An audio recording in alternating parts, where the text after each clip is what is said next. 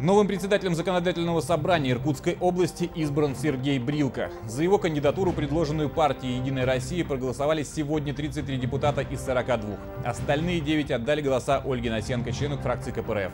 Напомним, место спикера стало вакантным после того, как пост председателя областного парламента покинула Людмила Берлина.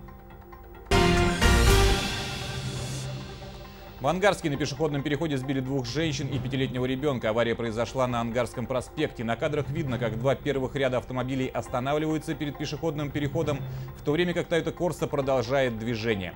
Как результат столкновения и трое пострадавших. Все они находятся в больнице с переломами. У ребенка медики диагностировали сотрясение головного мозга. К настоящему времени известно, что за рулем Toyota находилась женщина с водительским стажем 7 месяцев. Братский педофил отправится в тюрьму. Следствием и судом установлено, что в марте 2012 года 34-летний житель города посадил в автомобиль девочку, которая гуляла на улице, вывез в безлюдное место и совершил в отношении нее насильственные действия сексуального характера. На месте происшествия он не оставил никаких следов. Преступление удалось раскрыть лишь в феврале этого года. Путем частичного сложения приговоров обвиняемому назначено наказание в виде 15 лет и 3 месяцев лишения свободы. Ранее этот человек уже был судим за аналогичные преступления.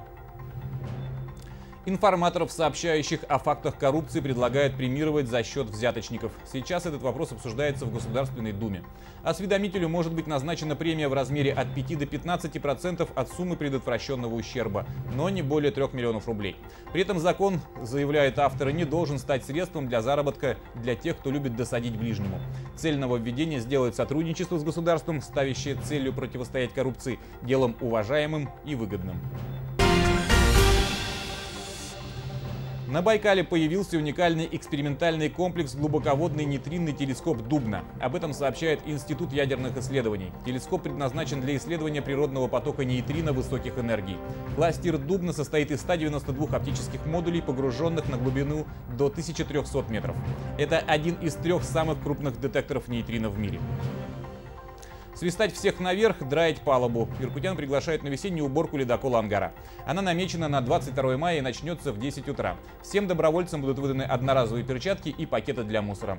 В акции также примут участие сотрудники МЧС, аварийно-спасательной службы, музеев города, а также студенты.